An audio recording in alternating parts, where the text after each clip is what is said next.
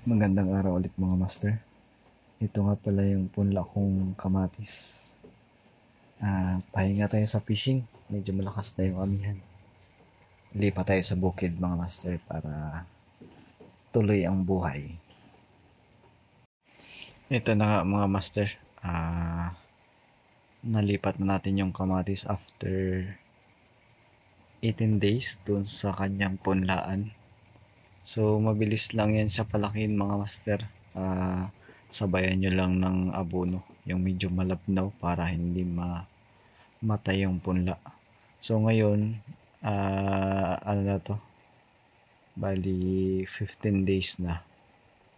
Ah, almost, ano na yan, 7 inches na mga master. So, antay lang tayo ng mga ilang araw dyan. Ah, bubunga na yan. Eto. Nasa almost 1,200 kapuno.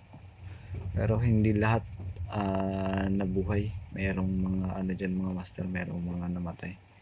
So maintain lang natin na malinis para yung abono na i-apply natin ah, sa kamatis lang mapupunta. Mahirap kasi pag madamo yan mga master, maagaw ng damo yung pataba. So sayang. Tapos syempre, huwag natin kalimutan yung insecticide. Ang ginagamit ko nga pala insecticide, yan yung lanet. So yun lang, lanet. Tapos ang abono, ah, triple 14. Sa ganyan kalaking puno ng kamatis, ang sukatan ko dyan mga master, lata lang ng sardinas. Isang lata ng sardinas, isang puno. Maliban nga pala dyan, may nakasingit na ano, may siningit ako na talong. So sa pagtanim pala nung kamatis at talong mga master, ah dikdikin nyo lang ng maayos yung ugat, yung puno mismo nung tanim para hindi siya maano ng hangin, mabuhay siya ng tuloy-tuloy. Ito na mga master, bunga na yung ating kamatis. Ah, nilagyan ko ng ano, nilagyan ko ng buho bawat puno para tumayo yung ano, medyo malambot kasi yan mga master yung puno ng kamatis pag marami ng bunga. Tutumba, tutumba talaga yan. Pag nakatumba yan at yung bunga niyan nakalapat sa lupa, pwedeng kainin niya ng langgam, pwedeng kainin ng daga. So mas maganda na may ah, buho siya. And then doon natin itatali yung mga puno ng kamatis para hindi siya kainin ng ano ng langgam.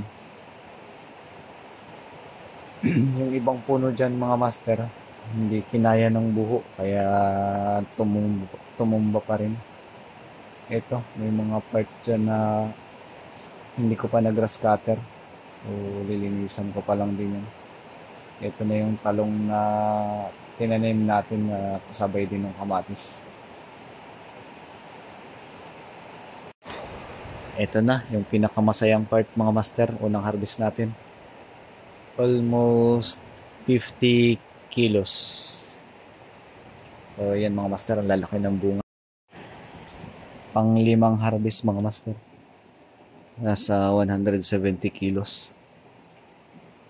Um, maganda, makinis, malalaki.